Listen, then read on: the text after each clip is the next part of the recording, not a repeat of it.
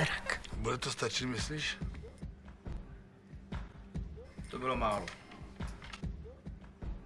Tak málo říkáš. No dobře.